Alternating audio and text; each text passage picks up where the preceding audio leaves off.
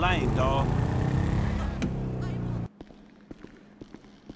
Wanda, your husband isn't gonna leave Afghanistan until the president personally grabs him by the neck and chucks him out.